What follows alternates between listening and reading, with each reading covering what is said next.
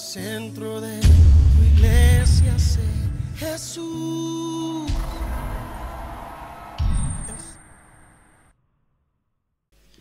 Voy a leer un poco la palabra y es una bendición que le iba a dar. Quita el aire, que no me dé el aire que me tira los papeles. ¿Quién iba a dar que yo puedo, que pudiera venir a Madrid a mi edad? Luego de tanto tiempo, hace muchos años estuve aquí, no sé si alguno se acordará, en esta capilla, y seguís en el mismo sitio. Pero gloria a Dios que seguís, y gloria a Dios por los que siguen. Benditos a Dios. Hermano, yo voy a predicar con el Evangelio que me convertí. Con el Evangelio de hoy no. Voy a repetirlo. Yo voy a predicar con el Evangelio que me convertí hace 50 años. Con este Evangelio no lo entiendo. Este no lo entiendo. El Evangelio de la Biblia. Lo que está escrito. Ni, ni más ni menos. Esta es mi predicación porque con esta predicación yo me convertí. No podemos olvidar que estamos pasando por una crisis económica grande en toda España. Pero la crisis espiritual es más grande aún. Pero la crisis económica, Rajoy me está enseñando que tiene media España en contra por traer soluciones a grandes males grandes remedios. ¿Qué solución traemos nosotros para esta crisis que tenemos? Yo os pregunto, ¿qué solución? De la iglesia que yo conocía, esta, no se parece en nada. No existe tal cosa. Yo no veo iglesia, no veo personas, no veo amabilidad, nos matamos como perros. No, no hay. El pecado ha entrado en la iglesia. Hay cosas que se ven en las iglesias que no lo hacen los inconversos. Esto me está matando. ¿Eh? Esta es mi carga que tengo porque llevo 50 años predicando el Evangelio y he dado mi vida y amo a la obra. Amo a la obra. Amo a mi pueblo que tenga pena por mi pueblo. Porque tenemos que mejorar nuestros caminos, si no lo vamos a pasar muy mal. Hermano, la salvación se puede perder.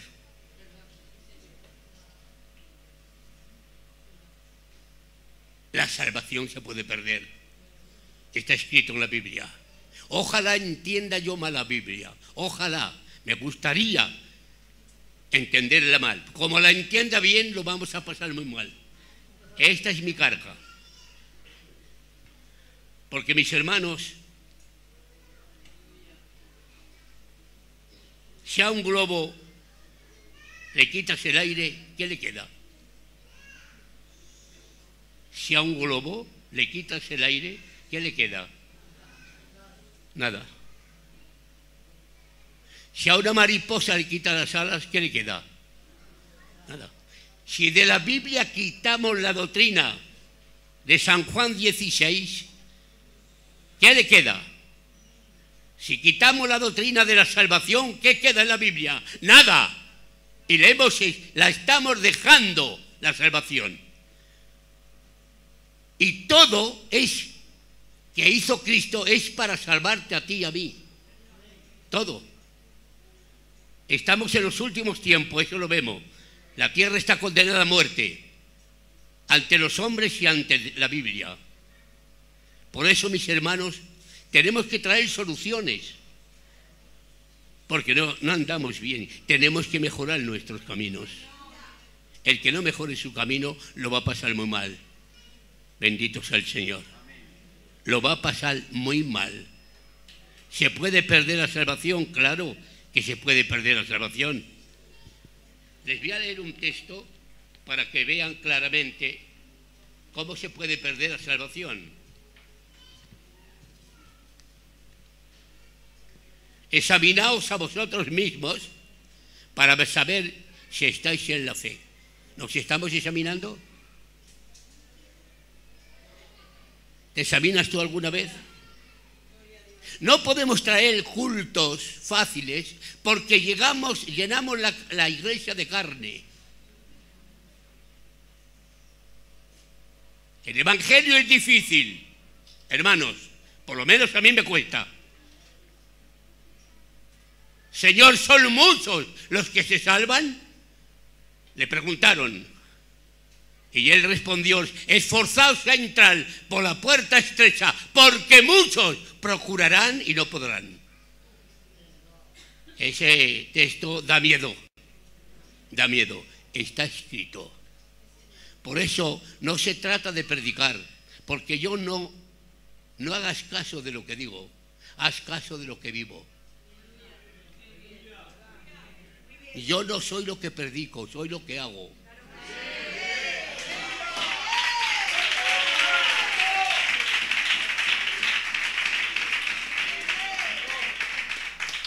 Si mis hechos y mi predicación no tengo hechos que concuerden, tengo palabras de Semanas Santas y hechos de carnaval. No se trata de predicar, porque si al gitano nos dejan hablar, nos escapamos de la horca. Porque toda la vida nos hemos ganado el pan con la lengua. Hay buenos predicadores, buenos predicadores, pero hay buenos administradores. ¿Cómo es mi vivir? ¿Me cuido? ¿Te cuidas tú de tu vivir? De tu santidad. Sin santidad nadie verá a Dios. Nadie. ¿Te cuidas de tu santidad? Que vienes a la iglesia. ¿Me cuido yo de mi santidad? Santidad en lo que miro. Tengo que cuidarme. Con 88 años tengo cuidado de no poner ninguna película que sea de jóvenes. ¿Qué será un joven? Santidad en lo que hablo santidad en lo que pienso, santidad en lo que miro y santidad en lo que hago. Cuatro puntos de santidad. Porque sin santidad nadie verá a Dios. Sin santidad nadie, tú, ni yo, ni nadie veremos a Dios. No entraremos en el reino de los cielos. Nos estamos jugando a la salvación eterna. Y parece, me da, me da la impresión que nuestra misión parece que ha dejado esta parte, la ha olvidado, la salvación. Y seremos frutos. Yo no seré salvo por mi predicación, no, por mis frutos. Mis frutos. Ni tú tampoco serás salva si vienes al culto no te vale para nada si no tienes fruto de cristiana. No te sirve de nada. Y que venga Cristo y nos quedemos aquí, es mejor no haber nacido. La salvación se puede perder. Hay una, una regla que Dios ha puesto, porque la regla la pone Dios.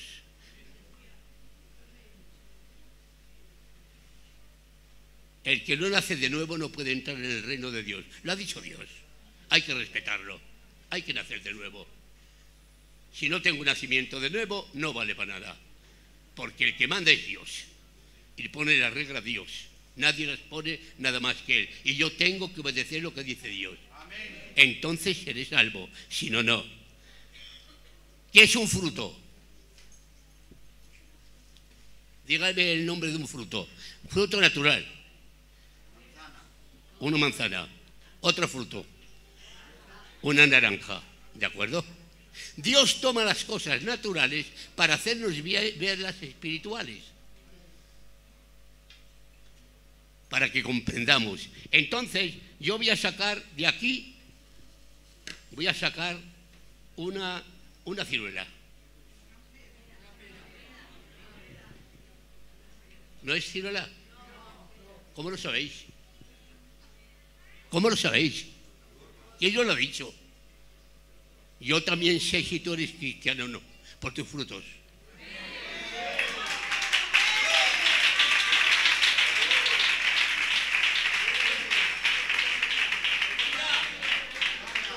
Eso te quiere decir.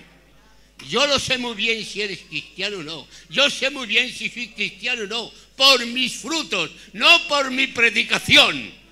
No vale la predicación si no va acompañada por un testimonio. Un testimonio santo. Sin santidad nadie verá a Dios. Por sus frutos se conocerán. ¿Se recogen uvas de los espinos? Pregunto, ¿se recogen uvas de los espinos? No. Así todo buen árbol, todo buen árbol da buenos frutos. Yo no tengo que ir al árbol donde ha nacido esta pera a cortar un cacho y llevarlo a la hacer un análisis para saber qué árbol es. No hace falta. Con ver el fruto, ser el árbol que es. Por ver lo que haces tú, ya ser lo cristiano que eres. Eso me dice. Ahora voy a sacar una ciruela.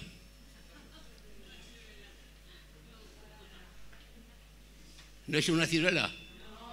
¿Cómo lo sabéis, eh? Los frutos no mienten. El que tiene frutos de Dios es salvo. Ahora tú tienes que saber que eres salva y tú tienes que saber que eres salvo. Ahora aquí, por tus frutos. Antes de que venga el día del Señor, yo tengo que saber que soy salvo por mis hechos, por mi, por mi conducta. Tengo que saber que soy salvo. Ahora bien, una naranja traes de la plaza una naranja y te la comes entera, ¿eh? No, no, ¿verdad? ¿Qué hay que hacer? Pelarla, pelarla. Después de pelarla entera tampoco te la metes en la boca. Hay que trocearla, te metes un trocito en la boca, la masticas. ¿Cuánto? ¿Qué, mal final estás dando a la, a la, naranja. Sin embargo, es tan cristiana que te da buenos frutos. Por eso, lo que nos pasa, los desacuerdos que nos pasa, los consiente Dios para ver quién somos. Porque no hay fruto sin herida.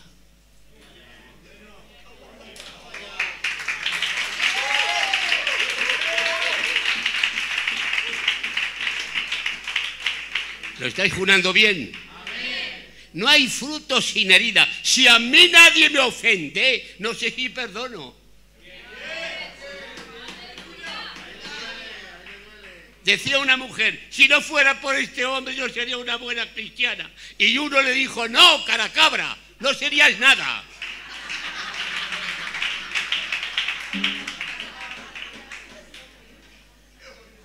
Dios prueba Abraham fue probado. Dame el hijo en holocausto. Lo dice la Biblia, bien claro. Probado. Y cuando pasó la prueba dice, no lo mates. Dios prueba. Al pueblo de Israel lo probó. Entonces, el fruto dice mucho. Después hay otra cosa. Que hay frutos, fruta, que puede ser una imitación. Cuidado. Yo tengo aquí una que voy a ver si, si es que veis esta manzana de verdad o es una imitación. ¿Es una imitación? Hay variación de opiniones. Y si hacemos cultos fáciles, todos somos cristianos. Pero si está la imitación sentada al lado de la auténtica y lo difíciles son los cultos que decimos la verdad, no para. Decimos, el que diga amén, el que ame a Dios, diga gloria a Dios. Eso es mentira. Por decir gloria a Dios, yo no amo a Dios. Yo amo a Dios y perdono al que me ha ofendido. Cuando oigo eso me pongo malo. Y llenamos el culto de carne. Quien ama a Dios se ponga de pie. Bendito sea mi Padre. Si eso cualquiera lo hace, son mm, mensajes que no valen para nada. No, no. Hay que tener frutos. Entonces, si hacemos caso de la Biblia, la iglesia estará convertida porque el que esté oye mensajes de verdad. La palabra de Dios es verdad.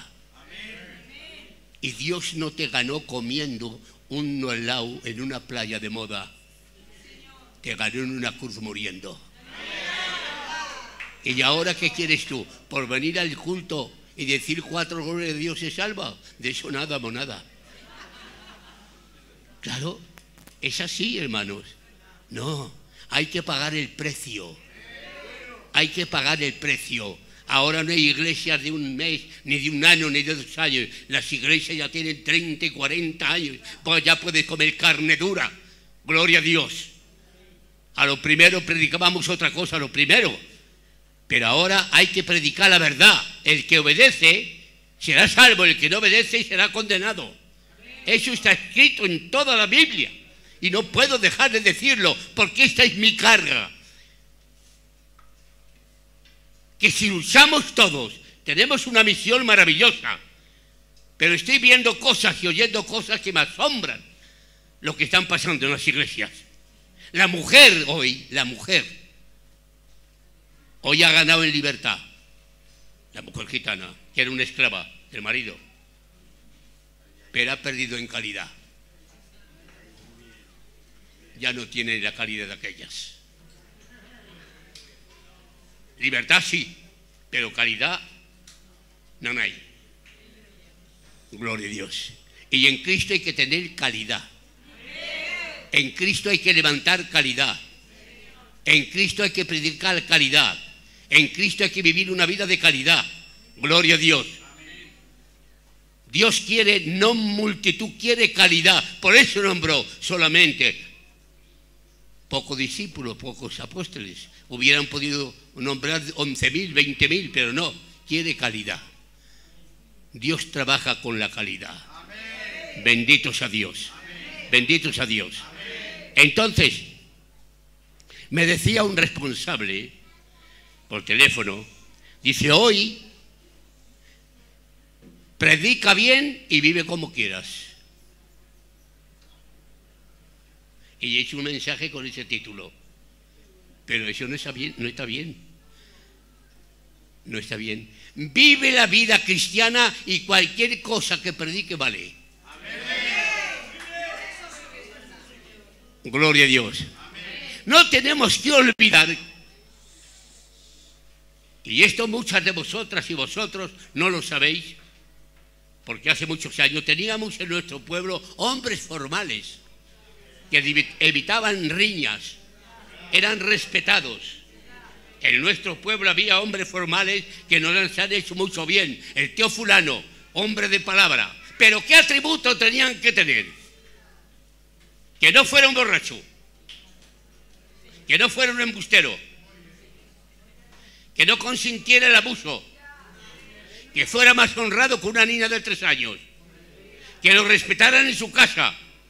Si no tenía sus atributos, no hacíamos caso de él. Por eso el pueblo gitano teníamos que tener más atributos de Dios.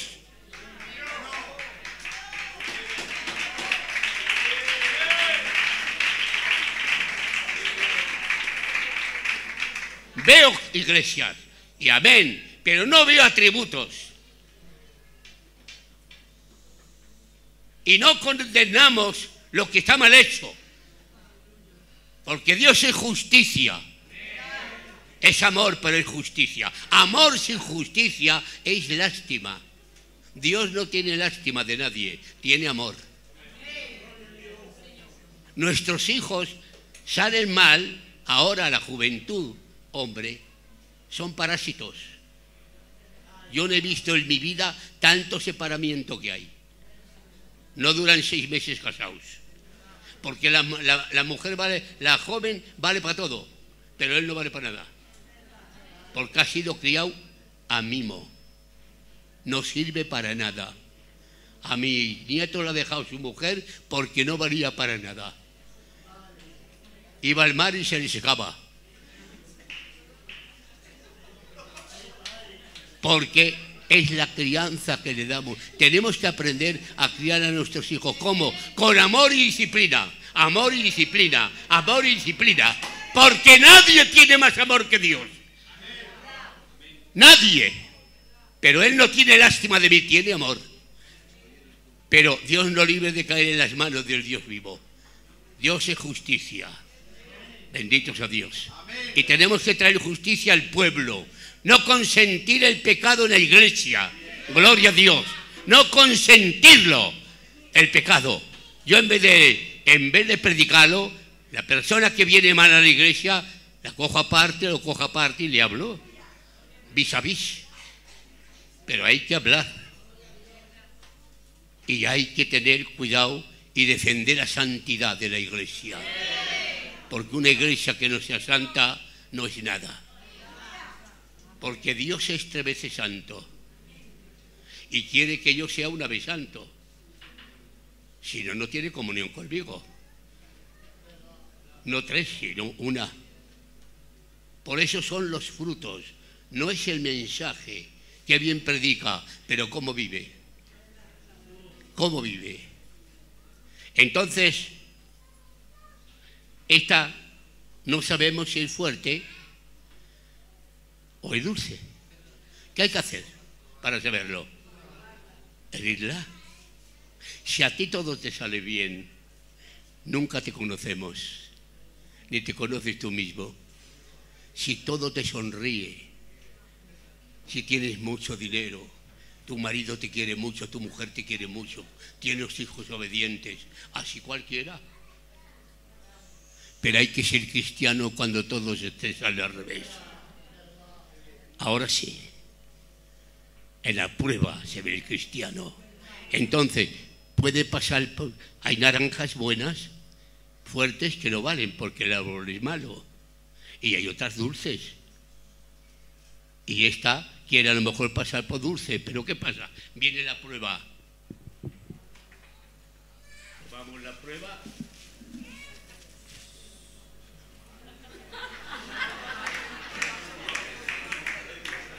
Y ante esto se tiembla. Viene la prueba. Amiga, no puedes pasar por dulce si eres amarga. No puedes pasar por dulce si eres amarga la prueba que a ti te está pasando y a lo mejor dice, mira lo que me pasa, esto lo consiente Dios, no lo manda Dios, lo consiente para ver cómo eres. La prueba tenemos que pasarla. Gloria a Dios. Y viene la prueba. Entonces, ¿cómo es, hermano Domingo? No lo sé. Yo no lo sé si es fuerte o no. ¿Lo miramos? Amén. Bien, entonces hago así, corto un trocito, pobrecita y estás diciendo verdugo, me estás haciendo polvo. Buena, dulce. Pero mira lo que ha hecho. Mira lo que he tenido que hacer con ella. Con la pobre. Quitarme un trozo. Esto es lo que nos quiere decir Dios. Luego está la, la, imitación. Hoy es el tiempo de las imitaciones que son perfectas. Sí, ¿no esto bien? Bien, son perfectas, pero en una iglesia que se predique la verdad, la imitación no está. Si es una iglesia que se predica lo fácil, la imitación está fulano esta familia, fulano se ha ido. No se ha ido. Es que no eran de aquí y se han ido de donde son. Pero el cristiano de verdad en la prueba no se va. Sigue para adelante. Gloria a Dios. Gloria a Dios. Entonces, ese es el plan, mis hermanos. Ese es el plan. Esta, otra imitación. Es una pera imitada. Y parece buena. Hasta, mi paloma la tenían en, entre la ropa mía. Dice, quítalo que a lo mejor te mancha, que está muy madura. La confundí. Pero es una imitación. ¿Qué eres tú? ¿Imitación o auténtico? ¿A qué vienes al culto? ¿Como imitación? Luego te vas a casa a hacer lo que quieras. No oras ni presentas la mañana, no oras nunca. ¿Cuándo oras? No oráis nunca. Y hermanos, el culto no mantiene. Voy a deciros una palabra fuerte. Voy a deciros una palabra fuerte. El culto, si no obedeces, condena. Porque el culto es para enterarte de la nueva vida, pero no da poder para vivirla. Quien da poder para vivirla es la oración. Y si vienes al culto y no oras, te estás tú misma condenando, porque el que sabe hacer lo bueno y no lo hace, le es contado por pecado. Así que si no obedeces es mejor que no vengas al culto. Estás más condenado. Hay que venir para aprender y hacer. Para aprender y hacer. Dios no es tonto, no es tonto, Dios es sabio. Y me conoce quién soy. Y quiere frutos. En un tiempo como este, que demos envidia a los demás, nuestra vida, nuestro matrimonio, cómo se lleva, cómo hablamos, que no riñimos, que aguantamos frutos. ¿Qué frutos?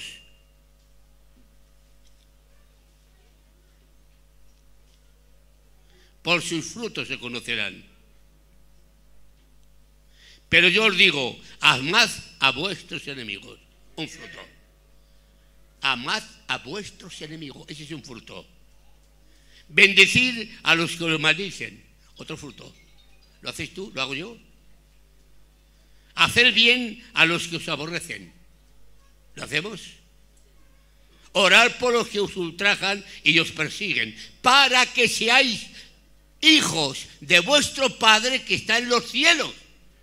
Tenemos que hacer eso para ser hijos de nuestro Padre que está en los cielos. Él lo ha escrito y lo ha mandado y hay que obedecer. No lo ha dicho un hombre, lo dice Dios.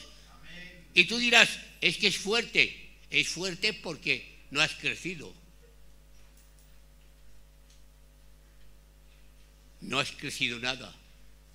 No oras, no haces nada, te vas a casa, vienes al culto, ves la palabra, vas a casa, tienes de cenar, ves la televisión y a la cama a roncar.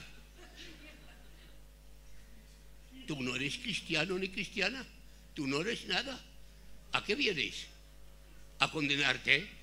No, hay que venir para hacer, para obedecer porque si amas al que os ama, ¿qué recompensa tendréis? Ninguna. Eso lo hace cualquiera. ¿No hacen también lo mismo los pecadores? Entonces, según la Biblia, ¿qué santas cualidades tenemos que tener para ser salvo? Aquí lo tienes arriba. Estas cualidades. Porque hay cualidades naturales, como una persona espléndida, es natural, no es espiritual. Es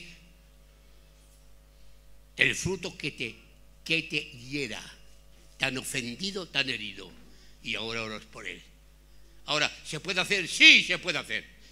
Porque Dios no puede mandar una cosa que haga si yo no puedo. Sería un mal Dios. Pero Dios es justo y perfecto. Si dice que puedo perdonar al, que me maldice, puedo hacerlo. Si no lo hago es que no he crecido, soy un enano, con la cabeza gorda y el cuerpo pequeño no hemos crecido. Y los cultos pasan y no me llevo nada para casa. Cuando estés en la casa, ¿qué he cogido hoy de la casa? Miren, hace cinco años eh, partió mi mujer con el Señor. Llevábamos 60 años casados, carne y uña. Aviones juntos. Ella me ayudó un montón en 24 iglesias que he pastoreado. Yo no me metía en las mujeres. Ella predicaba a las mujeres, las aconsejaba, hacía, hacía, hacía danzas, cánticos, no me metía en ellas. ¿Eh? En avión juntos, barco juntos, en América juntos, en Francia juntos, pero carne y uña. Y claro, de momento me veo sin ella. A la tierra se pegué lo que pasaba. Pero hay un texto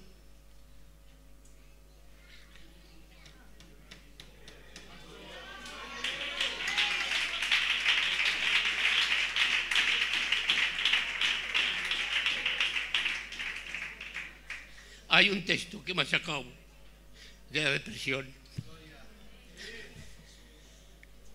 Un texto. Salmos 34.1.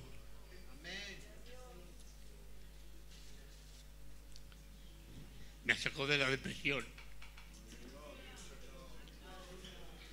Venía una depresión grande por mí, pero me ha sacado. Y Nada más abrir los ojos ya estoy con Dios la, la mente, afitándome, lavándome los dientes, luchándome. Dios en mi mente, porque lo malo y lo bueno entra para aquí. Si la tienes ocupado, no entra nada. Planchando, barriendo, guisando. Salmos 34.1, practícalo porque en la oración de iglesia yo creo poco. Cuando el pastor dice que ore Pepita, si hay alguna Pepita que perdone, que ore la Amalia, que ore el hermano Patricio, bien, está bien, pero creo poco, porque no me tienen a mí mandar orar. No me hace falta, yo oro. Es la oración íntima que le confiesas lo que no le confiesas a nadie a Dios. Si yo soy celoso, no puedo orar en la iglesia, quítame los celos, me da la che, pero a solas sí. Cierra tu puerta y ora en secreto.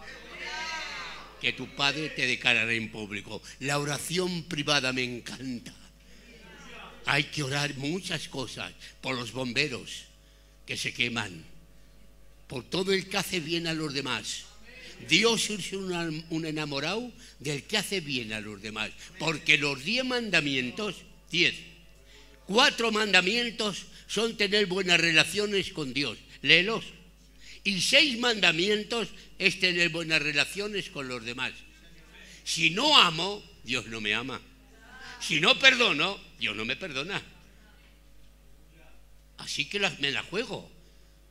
Pero Dios quiere que nos amemos y no si estamos amando y estamos consintiendo lo que no es de Dios, por ejemplo, que en un pueblo haya cinco iglesias o seis, en un pueblo pequeño, es que no se llevan bien. No se llevan bien.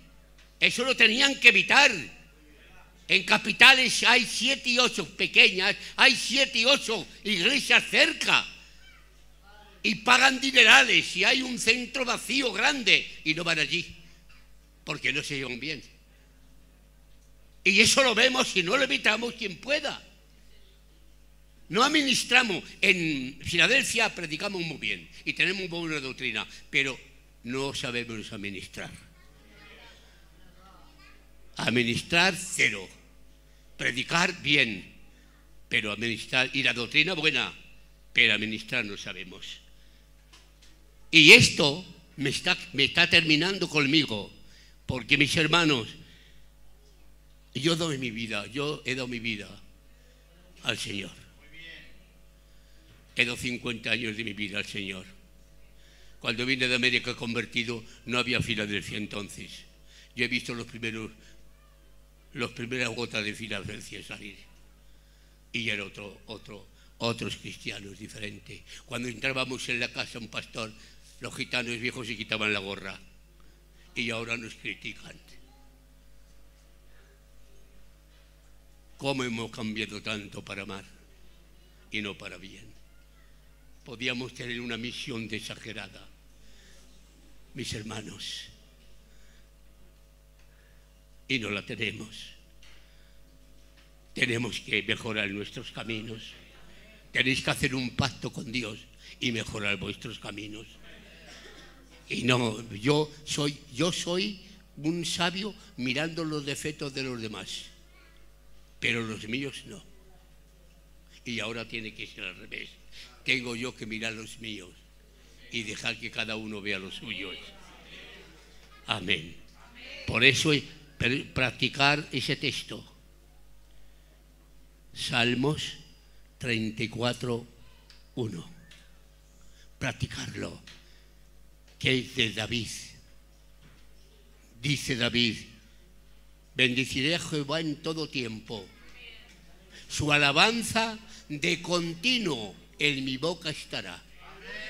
De continuo. ¿Por qué dice eso David? Me parece que Dios me ha dado la interpretación. Porque David era un rey y tenía la agenda llena, repleta. No tenía tiempo para orar. ¿Y qué pasa? Cuando los reyes salían a la guerra, David se quedó en palacio. Muy mal hecho. Porque tenía que estar en la guerra y se quedó en palacio.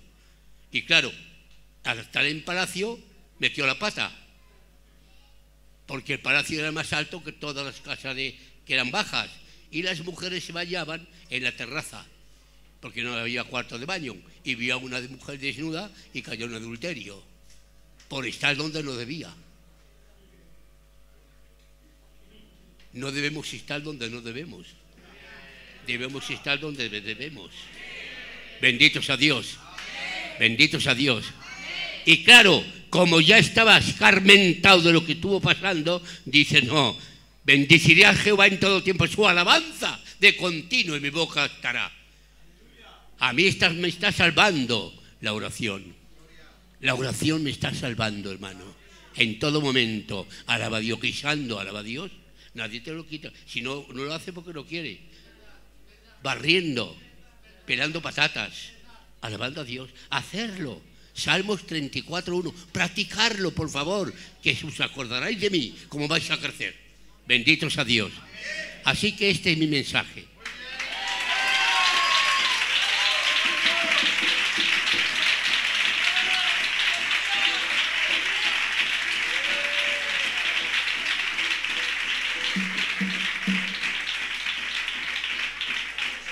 Si os he hecho bien, me contaría el anciano con mucha felicidad, porque me gusta hacer el bien, pero decir la verdad, hay que decir la verdad. Y como yo me aprovecho de mis años para decir la verdad, que un joven lo puede, pero a mí sí porque me lo sentís. Gloria a Dios, bendito por mi edad. Pero mm, os digo algo, que vosotros me habéis hecho a mí bien, porque sabéis escuchar. Y no, un orgulloso no sabe escuchar, no se escucha, pero un humilde sí. Déjame deciros ese piropo.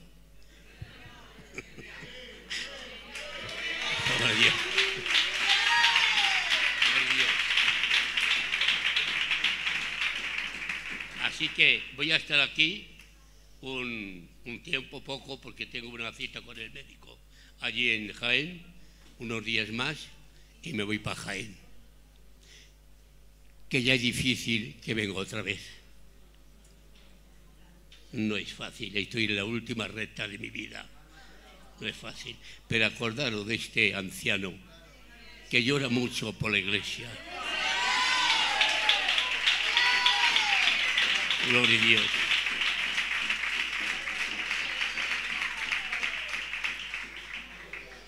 Mi, mi, mi esposa ya éramos muy mayores, hace unos seis años, desayunamos en un bar, hablemos de la partida de uno otro y me, di, me dije, si yo parto primero, ¿tú qué haces? Y ella dijo, yo estoy con mi paloma. Y yo le dije, muy bien. Dice, ¿y si yo parto primero? Digo, yo, a mí me quiere mucho la iglesia de Filadelfia, doy en viajar para predicar. Dice, muy bien, pero mira,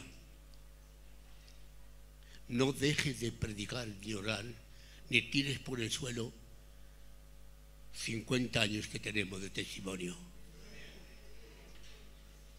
No te vengas abajo.